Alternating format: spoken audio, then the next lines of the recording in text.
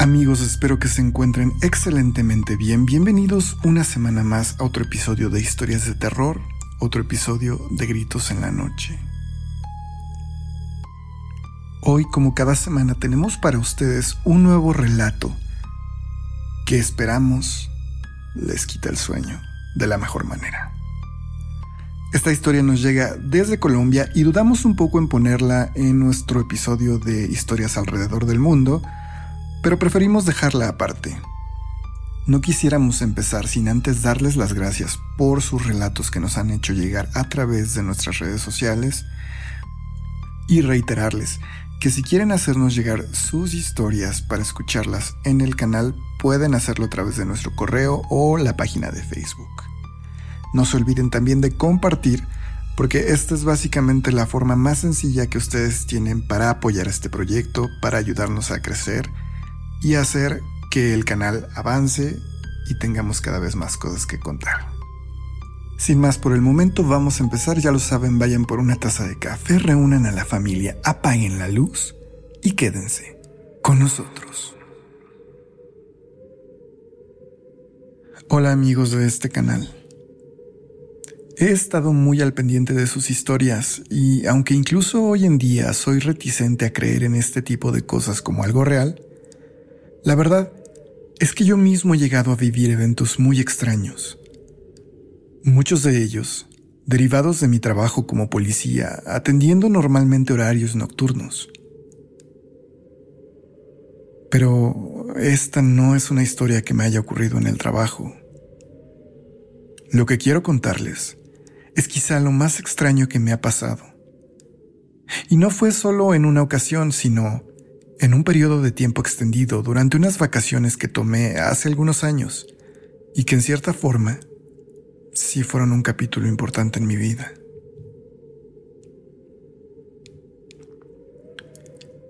Vivo en Bogotá, Colombia, desde que tengo cerca de 22 años, por allá del año 2002. Cuando llegué aquí, trabajé de muchas cosas intentando mantenerme. Y entonces decidí que una opción a largo plazo sería incorporarme como miembro de la Policía Nacional y hacer una carrera ahí. Hice todos mis exámenes físicos y gracias al apoyo de mis padres pude ingresar a la academia y pagar mi preparación como patrullero. Y aunque hubo algunas complicaciones en el camino, para el año 2006 ya estaba en las calles de esta bella ciudad salvaguardando la seguridad de todos. Como les repito, este trabajo te expone a muchas cosas. Durante los años que he ejercido esta profesión, hemos atendido toda clase de llamados extraños y visto las cosas más raras que rondan las calles de la ciudad y los parajes solitarios que nos rodean. Así que, agotado por el trabajo y mi vida personal, en 2012 tomé unas merecidas vacaciones. Para resumir mis problemas personales, tuve una intensa relación amorosa con una chica de esta ciudad que culminó en el matrimonio. Pero después de dos años decidimos divorciarnos y no fue en los términos más amigables. Desafortunadamente no puedo tener hijos, y aquello le causó una gran rabia a mi expareja que poco a poco, pero de manera constante, destruyó este matrimonio. Ella siempre me reclamaba que yo le había hecho perder mucho tiempo valioso de su vida y que no me lo iba a perdonar, pero ¿yo qué iba a saber? Su madre decidió también odiarme. Parecía que a ambas les había arrebatado el único sueño en su vida, que hubiera niños en casa. Pero esa nunca fue mi intención. En fin, abrumado por todo aquello, gracias a mis vacaciones normales y unos permisos que lograron extender mi descanso por dos semanas, pude ir a visitar a mis padres a mi lugar de origen, un pobladito encallado en la naturaleza llamado Obo, en el centro del departamento de Huila, en los valles del río Magdalena. Viajé en la tarde, esperando llegar a aquel poblado en la noche, cerca de las 10. Y el camino transcurrió en relativa calma. Ya más cerca de mi destino, al tomar el camino Neiva-San Agustín y después de pasar la desviación a la ribera, recuerdo que el camino se puso inusualmente oscuro. Anteriormente, la noche estaba clara, iluminada por las estrellas que resplandecían fulgurantes en medio de la oscuridad. Pero para ese momento, parecía como si de repente una densa masa de nubes las hubiera cubierto totalmente. Era muy difícil ver a la distancia y las luces de mi auto apenas iluminaban unos metros adelante, como si hubieran perdido alcance. Bajé la velocidad y anduve con mucha precaución, mucho más de la usual. Así estuve avanzando casi una hora tal vez. Mi gasolina disminuía y en realidad parecía no llegar a ningún lado. Es más, estaba seguro de que algunas veredas al costado del camino las había pasado tres o cuatro veces. No quise detenerme y seguí en movimiento. Y estaba a punto de desesperarme cuando bajé aún más la velocidad. Intenté calmarme y respirar, sin perder de vista el camino.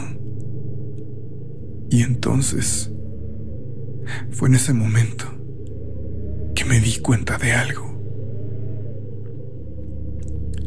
Detrás de unos árboles adelante, una figura se asomaba entre la oscuridad. Yo no podía distinguir qué era. Mis luces parecían no alumbrarla. Aquella silueta parecía la de una mujer, pero apenas unos segundos más tarde, me pareció que más bien era la silueta de un animal, quizá la de un gran perro.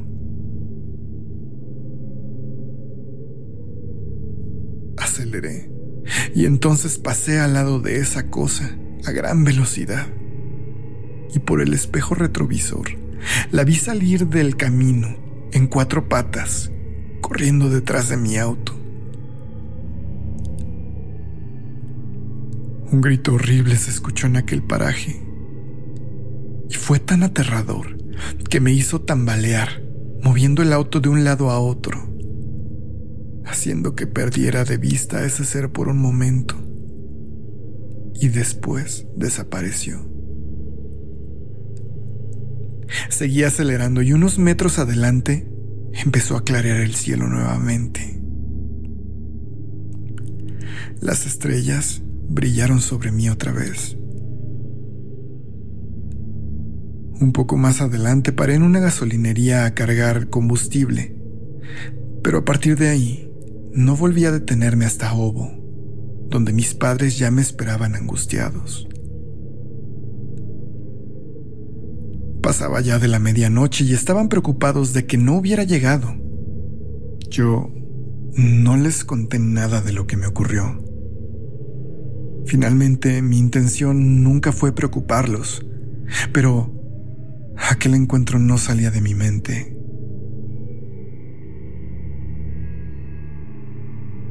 Los días en casa de mi familia fueron increíblemente relajantes.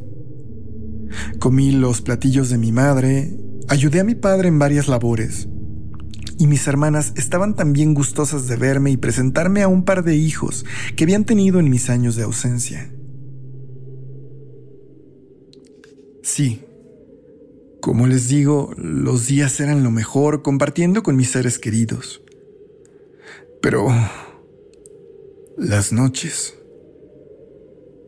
las noches se habían tornado en torturas que nunca había experimentado.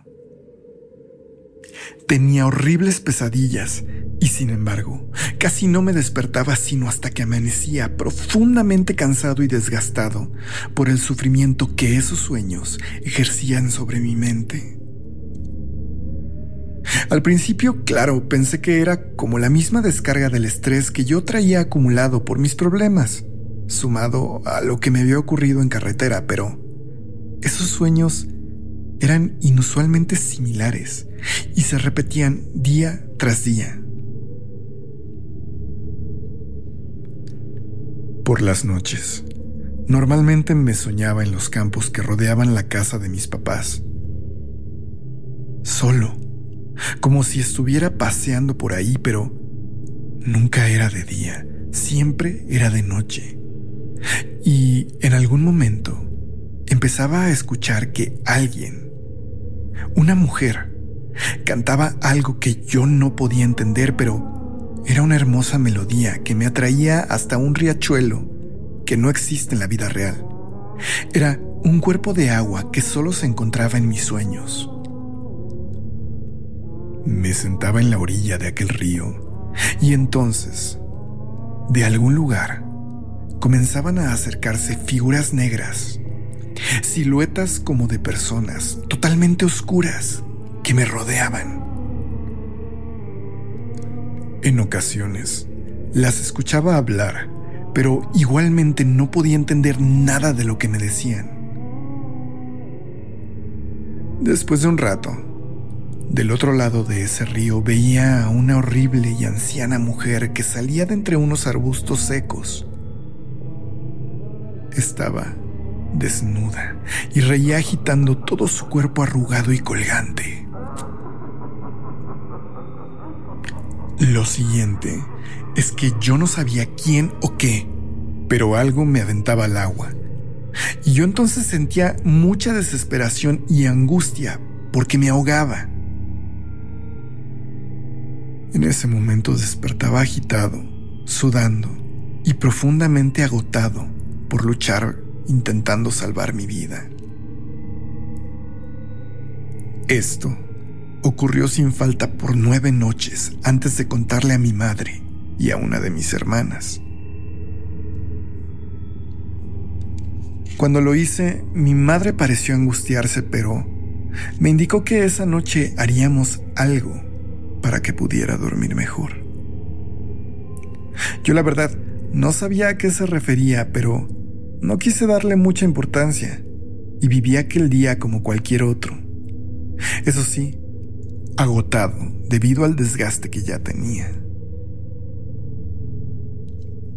Se hizo de noche y mientras yo veía algo de televisión con mi padre, mi madre y mis hermanas salieron de la casa y comenzaron a rociar semillas diversas en todos los marcos de las ventanas los umbrales de las puertas y todo alrededor de nuestro terreno.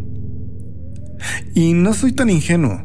Digo, sabía que eso era parte del folclore para ahuyentar brujas. Y la verdad me dio un poco de risa. Pero preferí no decirles nada y dejarlas que hicieran el intento de arreglar mi situación según sus creencias.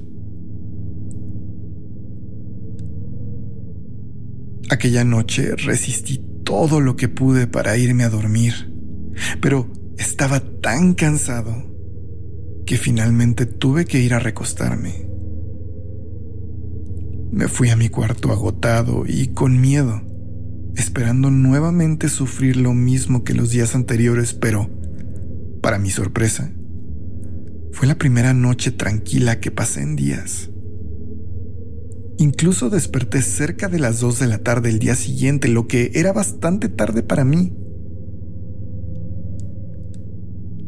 Mi madre parecía satisfecha y aliviada y durante las noches siguientes, ella y mis hermanas rociaban esas semillas en los lugares que habían desaparecido la noche anterior, creando esta especie de perímetro protegido.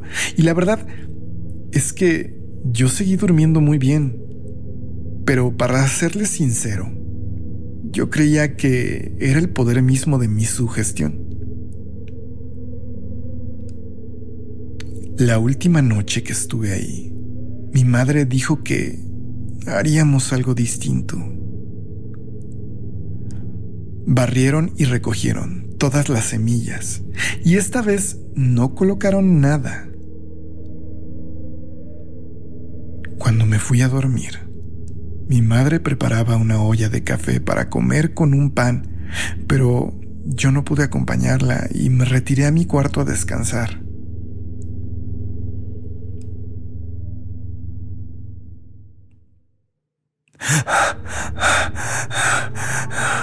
Nuevamente estaba en aquel paraje, atraído por aquella voz, rodeado por aquellas figuras. Y justo antes de que me arrojaran al agua, algo me despertó. Era mi madre y una de mis hermanas en medio de la noche, moviéndome para que reaccionara. Tardé un poco en despabilarme y entrar en conciencia de lo que ocurría, pero entonces me di cuenta En el techo sobre mi habitación se escuchaban golpes muy fuertes, como si algo se azotara encima de aquel cuarto. Además, unos lamentos de dolor cortaban el silencio nocturno. Mi madre entonces, sin decir nada, me hizo señas para que buscara algo debajo de mi almohada. Metí la mano y la sentí de inmediato. Unas tijeras abiertas habían sido colocadas ahí. Me quedé un segundo viendo a mi madre y a mi hermana sin saber qué hacer o qué decir, pero entonces mi hermana me dijo con voz muy baja que debía cerrar con fuerza las tijeras para que todo se terminara. La verdad es que a pesar de mis dudas, decidí seguir su indicación no entendiendo mucho de lo que ocurría.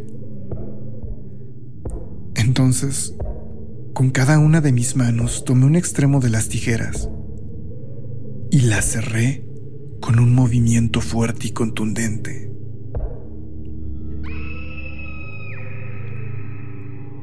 Un horrible lamento se escuchó y los golpes cesaron. Mi padre quien no me había dado cuenta que estaba parado en el marco de mi puerta, salió corriendo con machete en mano. Me levanté y acompañado de mi mamá y hermana salimos tras de él. Lo encontramos colocando una escalera para subir al techo de mi cuarto.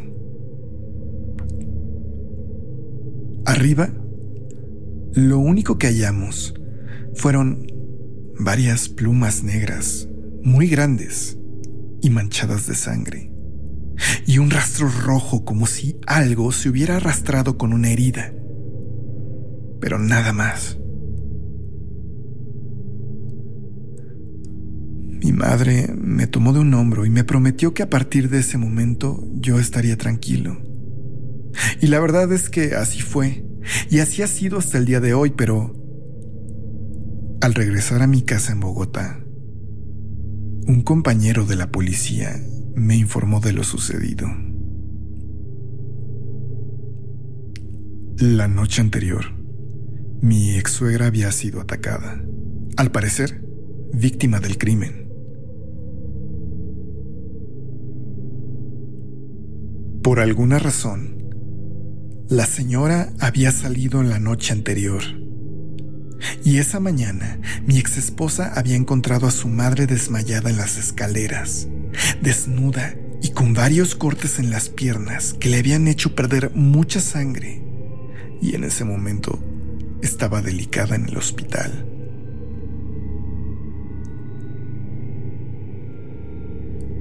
Eso fue lo último que supe de mi ex esposa. Antes de mis vacaciones había estado lidiando mucho con el tema del divorcio, y ella y su madre me llamaban en ocasiones para molestarme y gritarme improperios e insultos, pero a partir de ese día nunca volví a saber de ellas. Quizá todo aquello fue coincidencia, ¿no lo creen? Yo me esfuerzo por pensar que sí, pero también sé lo que ustedes están pensando. Y si les soy sincero, yo... Bueno, ya saben. Eso de pensar que mi ex suegra era una bruja Bueno, yo la verdad es que... Sí. Yo... Yo también lo creo.